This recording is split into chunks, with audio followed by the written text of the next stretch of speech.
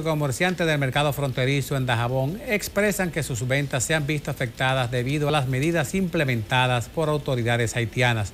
En el día de hoy, viernes, el intercambio comercial se llevó a cabo de manera tranquila, a pesar de que Haití aún continúa incautando productos de sus compradores por, por compradores haitianos en mercado de esta ciudad. Ante esta situación, los comerciantes dominicanos en la franja fronteriza esperan que se busque una solución definitiva a esta problemática, ya que el comercio entre ambos pueblos ha sufrido un colapso en las últimas semanas.